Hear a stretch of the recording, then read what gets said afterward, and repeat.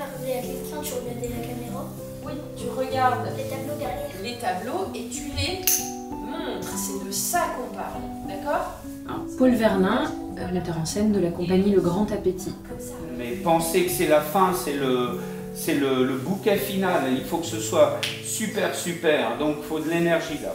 Jean-Philippe Le Guillou, enseignant de la classe de CM2 de l'école du Brugou au Fawet. choisis une personne et on va lui dire Est-ce que tu m'entends avec la voix blanche? C'est-à-dire qu'on exagère les yeux, les muscles du nez, de la bouche, du cou, des oreilles, du front. Au tout début, il y a le musée, à quelques rues de l'école. Ce musée, les élèves le connaissent bien, ils y sont presque comme chez eux. Et puis s'annonce euh, l'exposition autour des productions de la famille Lelox. Une mise en lumière et tout un tas de scènes de vie du Fawet, d'endroits très identifiables par tous, une balade dans le passé, pas très lointain mais suffisamment pour qu'on soit intrigué par une foule de détails du quotidien. Beaucoup mieux votre placement. Ce matin, vous étiez les uns derrière les autres en tas. Voilà, on doit tous pouvoir vous voir. Dans la classe de CM2 de Jean-Philippe, on fait souvent du théâtre. Alors, on recommence, Luna.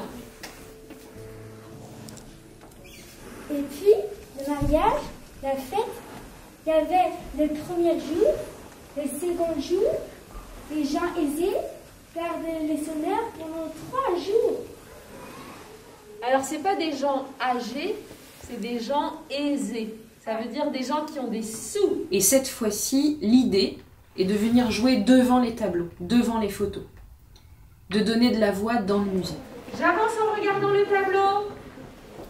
Je m'arrête. Dans ma tête, je dis Oh C'est pas possible. Eh, vous savez quoi? Ça, vous n'allez pas le dire, hein. vous le faites avec vos yeux. Hein. Blabla, blabla, blablabla. Bla. Jouer ce qu'on y voit, oui, mais en ajoutant aussi des détails qu'on ne voit pas. Alors Adèle, qui travaille au musée, est partie interroger des anciens, des hommes et des femmes qui ont grandi et qui ont vécu au Fawet.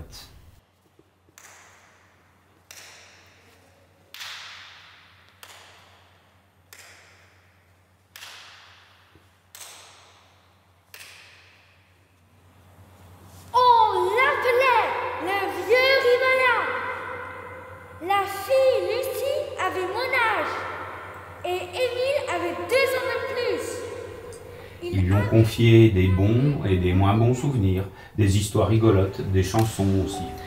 Il paraît que la petite Lucie, elle s'est endormie en surveillant la coche.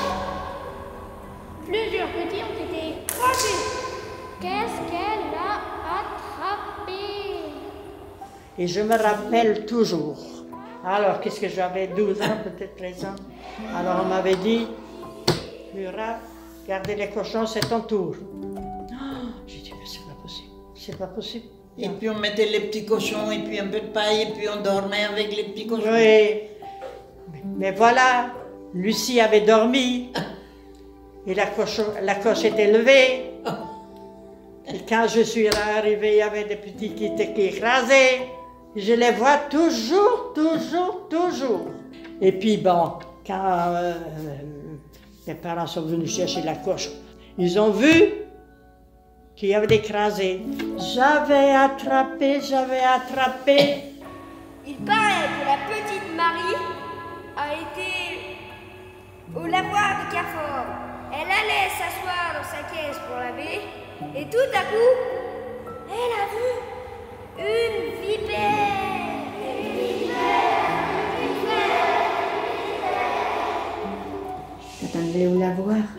avait la brouette. Il fallait descendre comme ça à la brouette et puis prendre la caisse. Et j'avais toujours peur parce qu'il y avait la paille dans la caisse où on se mettait à genoux. Et puis j'avais toujours peur de trouver soit une vipère ou une bête dans la paille. Ouais. J'ai été aussi à Kerrien avec une bande de jeunes. On chantait. Euh, par exemple, celle de Parentoulfouen là. Oui. Et pewan bet. Die weet nose Meligedom Matonden. Die weet nose want from Meligedom Matonden. Voilà.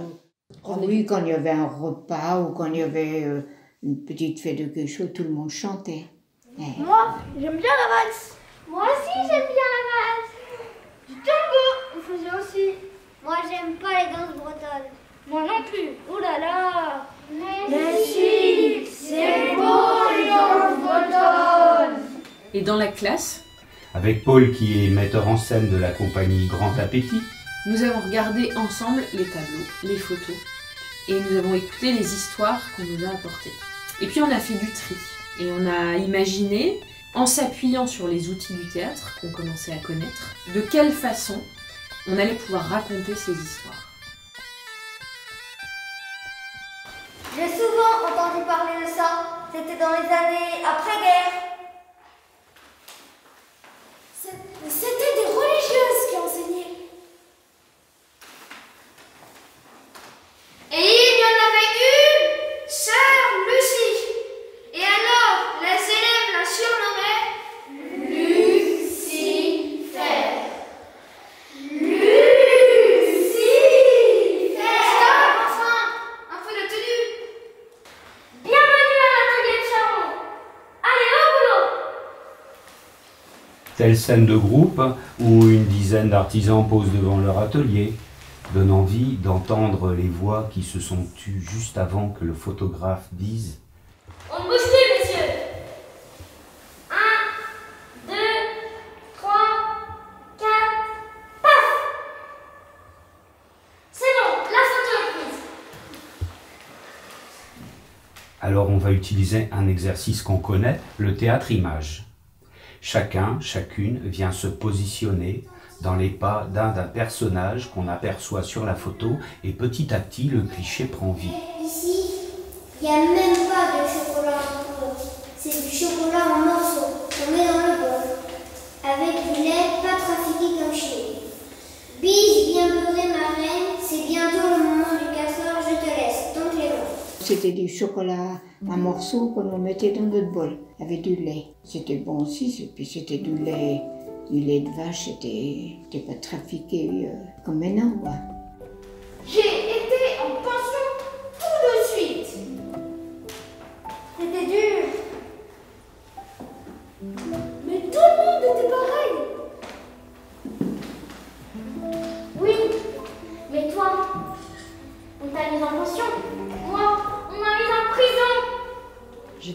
Là en pension tout de suite.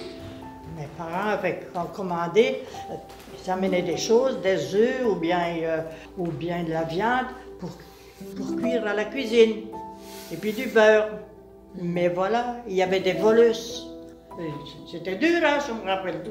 Tout Eh, le monde était pareil à cette époque-là. mais oui, mais on t'avait pas mis en pension, on m'avait mis en prison tout de suite.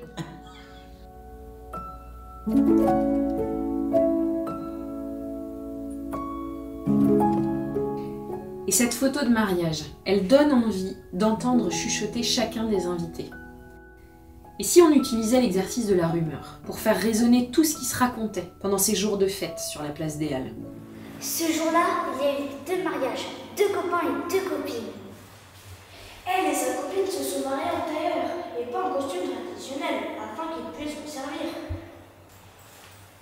Et puis, le mariage, la fête, il y avait les premiers jours, les seconds jours, les gens aisés gardaient les seigneurs pendant trois jours. Et les tableaux de la salle du fond, avec les cours de ferme, si différentes de celles de maintenant, comme on y dormait, d'où venait l'eau, euh, qui faisait cuire le pain. Il faut que ça circule, qu'on se balade à plein de rythmes différents sur cette terre battue, que l'on sente dans nos marches, nos accélérations, nos regards, tout ce qui se tramait heure par heure sur le seuil des maisons. Chers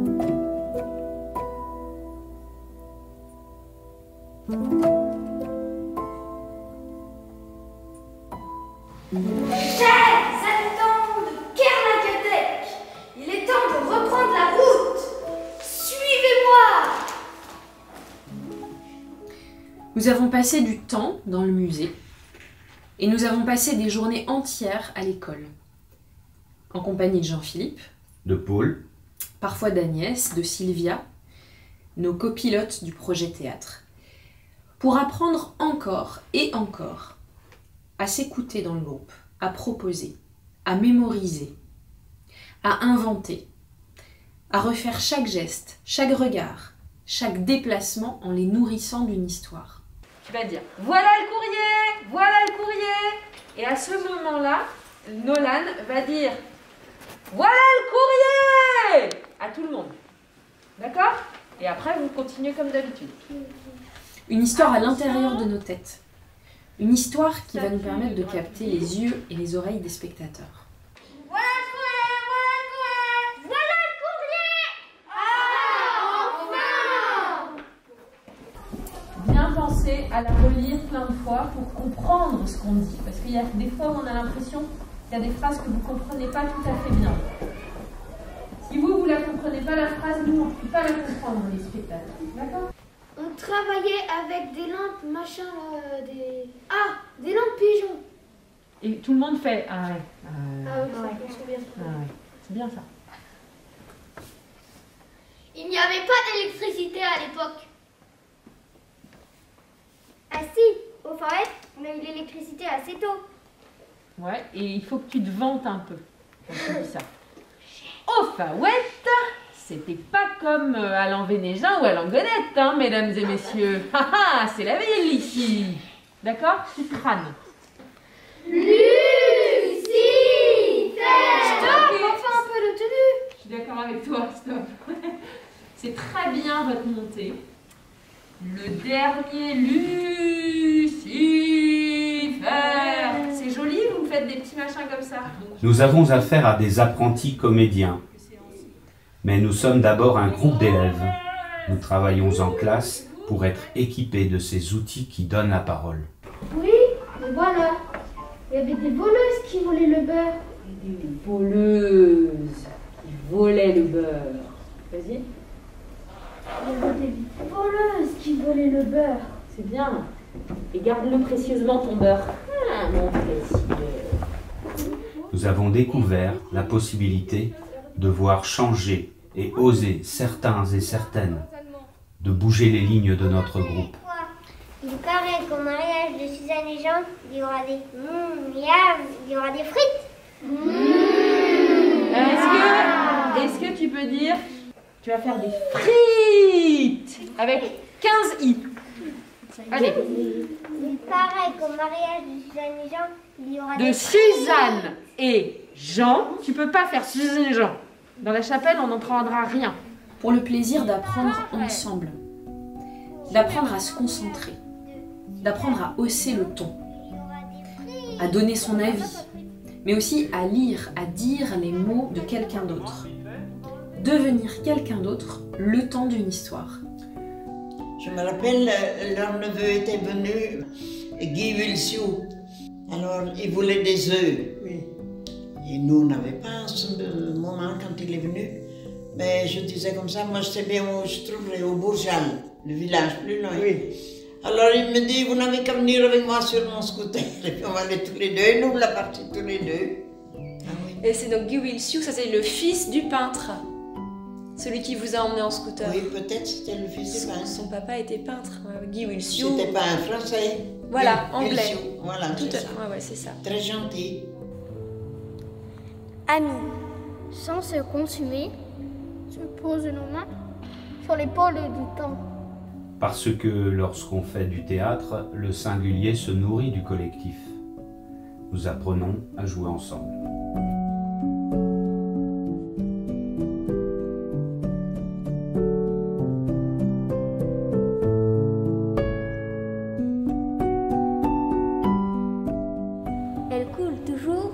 Cette oasis de l'amitié où vieillir est un mirage.